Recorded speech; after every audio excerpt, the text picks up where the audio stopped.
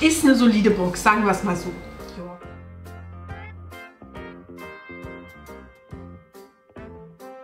Hallo Hallöle und herzlich willkommen zu diesem Video. Mein Name ist Saskia und irgendwie habe ich ein Haar am Gesicht. Und ich freue mich sehr, dass du dich hierher, hierher verirrt hast. Ich war drei Wochen lang weg gefühlt, vier Wochen und kann keine Anmoderation mehr. Okay, ich habe die neue Pinkbox für euch. Die Pinkbox erscheint monatlich und ihr wisst, ich bin noch nicht so ganz warm geworden und ich werde wahrscheinlich auch nicht mehr warm, denn ähm, ich habe die jetzt noch August, September, Oktober, drei, vier Monate und dann wird sie deabonniert werden, weil ich irgendwie nicht so gehypt bin. Tropic like it's hot. Okay. Ähm, ja, sommerliches Motto ist, glaube ich, klar. Wir haben immer ein digitales Leaflet, das finde ich sehr schön. Ich scanne schon mal und dann lese ich aber einmal was hier Schönes steht. So, hey Sweetheart, let your skin taste the tropics. Nicht nur wir haben Fernweh, du sicherlich auch. Stell dir vor, wie die warme Sonne deine Haut wärmt, der feine Sand unter deinen Füßen kitzelt und salzige Wassertropfen auf dein Gesicht spritzen. Ich mag kein Salzwasser. Eine schöne Vorstellung, ja, ohne Salzwasser tatsächlich. Doch keine Sorge, du musst nicht nur von diesen schönen Momenten träumen, because we tropic like it's hot. Mhm. Die neue Pink Box Tropic Like It's Hot versorgt dich mit Hair- und Beauty-Produkten, die das Fernweh vertreiben und gute Laune versprühen. Fühle dich, als würdest du an tropischen Stränden, Stä Ach, Ständen eine Kokosnuss schlürfen. Okay, ja gut, Stränden würde auch passen. Äh, in einer Hängematte am Strand zwischen Palmen liegen und das Leben genießen. Yes, Sweetie. Neulich geworden und dann scanne den Code. So, das habe ich schon gemacht. Das muss ich jetzt nur einmal öffnen. Da ist es. Ähm, und das ist der erste Blick in die Box. Mein großer Kritikpunkt ähm, bei der Pinkbox ist immer so ein bisschen, mir fehlt so dieses Specialige. Sie kostet, ich habe sie im Jahresabo, 13,45 Euro. Preis-Leistung ist immer okay, wir kriegen immer mehr raus. Aber mich hypt sie halt nicht so richtig. So, das erste, was wir hier haben, ist von St. Moritz äh, Self-Tan äh, Luxtan Tonic Drops ähm, ja, also selbst Bräuner Drops in einer kleinen Größe. Ähm, ich gucke mir mal kurz das Fläschchen an. Ja, also so sieht das Fläschchen aus. Ähm, ganz einfach. Ich glaube, ich habe von St. Moritz sogar eine große Größe da. Ne, ich habe von was anderem die große Größe da. Mal gucken, vielleicht probiere ich es auch aus. Ich habe das ähm, Selbstbräunungsmus in transparent äh, einige Zeit lang ausprobiert und habe so unterschiedliche Erfahrungen damit gemacht, weil einerseits hat es, wenn es funktioniert hat, ein richtig schönes, gleichmäßiges Bräunungsergebnis gemacht, was total natürlich für meine Haut war. Und ich sah aus, als wäre ich zwei Wochen im Urlaub gewesen und hätte wirklich zwei Wochen am Strand gelegen. Ähm, andererseits hat es manchmal auch gefühlt gar nichts gebracht. Also ich habe es großzügig aufgetragen, ich habe es großzügig einwirken lassen und es war nichts da.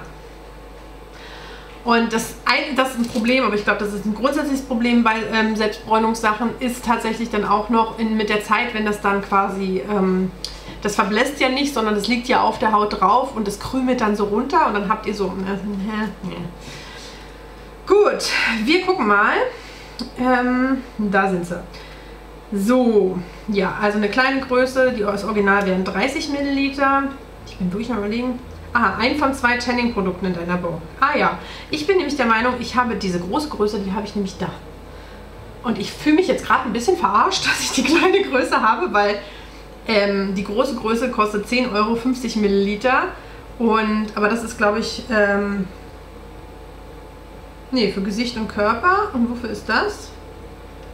Die Haut aufpolstern. Feine Linien glätten, Rötungen werden reduziert, Gesicht erhält einen natürlich sonnenküssten Glow. Ah, die kann man direkt auf die Haut auftragen. Huch. Äh, oder in, äh, morgens und abends in Feuchtigkeitscreme. Mhm. Okay, äh, direkt auftragen finde ich schon wieder sehr spannend, weil die Drops, die es auch Alternativwerte geben können, die habe ich definitiv da und die machen bei mir nicht so viel. Die darf man nämlich nicht einfach so also komplett auftragen. Das heißt, das ist definitiv hier ein Unterschied. Ähm, werde ich auf jeden Fall mal ausprobieren, so ein bisschen Bräune. Ich hoffe, dass ich noch im Sommer ein bisschen brauner werde, weil ihr seht, ich bin aktuell weiß wie eine Wand. Ähm, ja, hat trotzdem seinen Wert, ne? weil die Originalgröße halt relativ teuer ist. Ähm, werde ich auf jeden Fall mal ausprobieren. Ähm, von Richards haben wir was. Was die liebste Alina? Grüße gehen raus an dich. Möchtest du das haben? ähm, Be Kind äh, to, also Richard of Karma. Ein Hair- und Body Mist, Holy Lotus und White Tea. Ähm, ich mag halt die Riches ähm, Düfte, also vor allem diese Körpersprays. Auch die halten jetzt nicht ewig, aber ich mag die sehr und ich weiß, dass das, glaube ich, ein Duft ist, den Lina...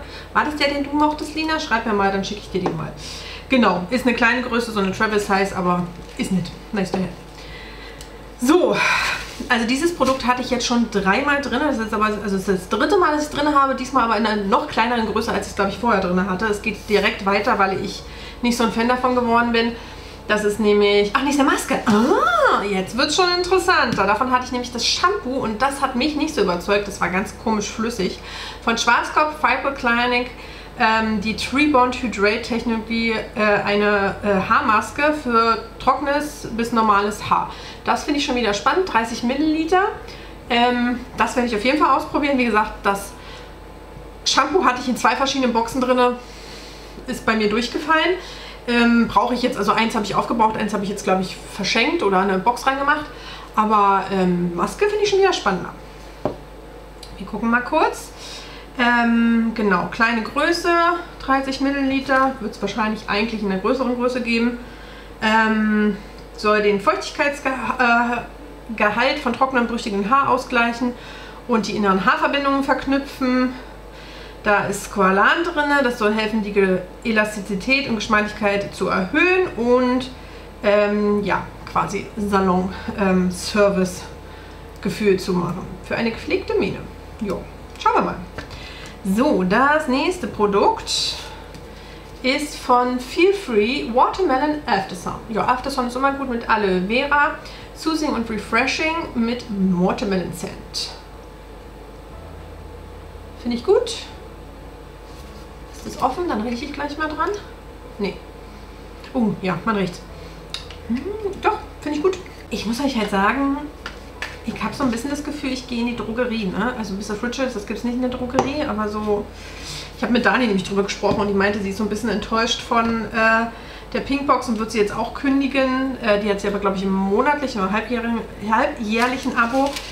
Ähm, und meinte halt, es hat so Drogerie-Feeling und ja, aber man muss auch sagen, das ist auch, glaube ich, eher, was die Pinkbox halt als Orientierung tatsächlich macht, dass es eher eine Drogeriebox ist viele Sachen, die man tatsächlich nachkaufen kann. Ich weiß nicht, ob es viel Free in der Drogerie gibt. Ähm, genau, ist jetzt auch kein nicht krass günstig, ne? Ein Zehner ist jetzt auch nicht gerade billig. Après-Sun ist im Sommer auf jeden Fall gut. So, Seven's Heaven kommt irgendwie jetzt gerade wieder. Ich hatte letzten... Wo hatte ich denn auch in welcher Box? In irgendeiner Box hatte ich nämlich auch eine Maske drin. Ähm, you've got the Pink Chocolate Purifying Clay Mask. Ja, die geht weiter, weil Clay Masks sind nicht für mich. Ähm, man springt jetzt natürlich gerade auf diesen Barbie-Zug auf, weil jetzt ja mit Margaret Robbie, glaube ich, äh, heißt sie, äh, dieser neue Barbie-Film rauskommt, auf den ich tatsächlich sehr gespannt bin.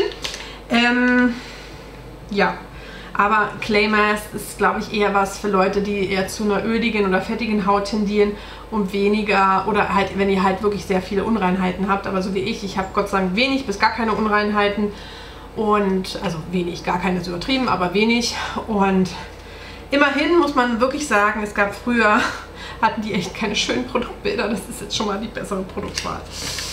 Aber ja, ist jetzt auch nicht so was, was mich jetzt so krass mega überzeugt. Hätten noch andere Masken drin sein können. Ich gucke gerade mal. Eine Toning Peel-Off Mask, okay, wäre auch nichts für mich gewesen. Oder eine Cleansing Clay Mask. Ja, Okay, es sind also alles Claymers, wäre also so oder so nichts für mich gewesen. Das letzte Produkt ist ein Deo von Dove. Ich mag Dove. Dove ist nämlich, glaube ich, tierversuchsfrei. Genau, Peter approved. Woo! Ähm, Advanced Care Go Fresh ähm, Granatapfel und Zitronen.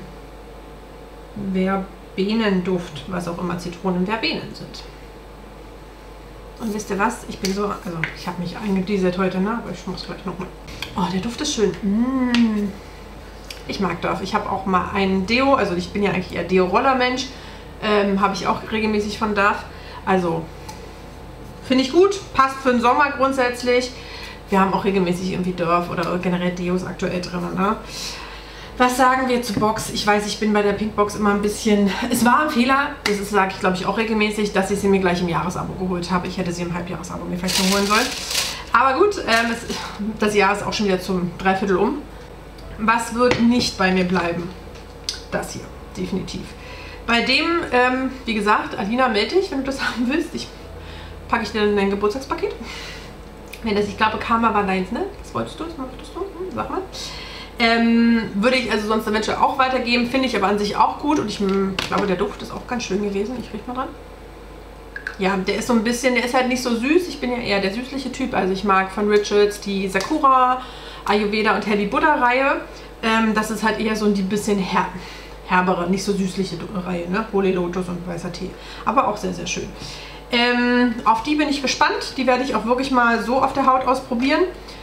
Maske finde ich auch spannend. Ich dachte, wie gesagt, schon als ich die Farbe gesehen habe, weil das Packaging das gleiche ist, dass ich jetzt schon wieder dieses Shampoo drin habe. Dann wäre ich wirklich ausgeflippt. Ja, ähm, ihr wisst, ich bin ein Pflegemuffel, was das Eincremen angeht. Ich fand das übrigens so niedlich, wie viele äh, unter äh, meinem, ich glaube wirklich, es war das letzte Video, was ich vor meiner Pause hochgeladen habe, äh, da abgegangen sind, weil ich gesagt habe, ich bin Pflegemuffel, was Eincremen angeht. Oh mein Gott, ich hätte nicht erwartet, dass da so viele drauf reagieren. Aber vielleicht kriege ich mich damit ja ein bisschen mehr ein. Ich habe jetzt auch ab und an, ich bin jeden Tag gerade im Wasser, äh, unten am ähm, See und muss aktuell wirklich jeden Tag danach mich auch einmal abduschen und die Haare aktuell auch jeden Tag waschen, deswegen, weil sie immer nass sind. Ich mache dann zwar manchmal nur einfach äh, nochmal eine ähm, Spülung rein und das war's und wasche mir nur alle paar Tage auch wirklich auch die Kopfhaut. Aber ähm, dadurch pflege ich gerade Mühe mehr, als ich sonst machen würde, weil ich einfach merke, meine Haut braucht es. Ja, Deo ist auch okay, aber so... Wir haben kein Make-up. Ich bin ein bisschen traurig, dass es kein Make-up gibt. Ich hätte gern Make-up. Das ist ja immer der Punkt. Ich finde, ein Make-up-Produkt sollte pro Box drin sein. Also egal bei welcher Box, ein Make-up-Produkt sollte drin sein. Ja. Ähm, dann wird hier Werbung gemacht für das Deo, für die Maske, also die Haarmaske, die liebsten äh, Reiseziele der Pinkbox, der Pinkbox Crew, äh, Tropical Cocktail, 50% auf die zweite Box und so weiter. Ja, also ansonsten ist hier nicht so viel Interessantes drin. Ähm, ich habe jetzt die, das ist, das ist tatsächlich ein Punkt, den ich euch sehr empfehlen kann. Bei der Pinkbox kann man die Sachen bewerten und dann kann man Punkte sammeln. Wenn man genügend Punkte gesammelt hat, ich glaube 100 müssen es sein, bekommt man die nächste Box umsonst. Hatte ich jetzt tatsächlich gerade zusammen, ich glaube 140 sogar, sodass meine nächste Box nächsten Monat umsonst ist. Finde ich sehr gut. Aber so richtig überzeugen tun sie mich nicht.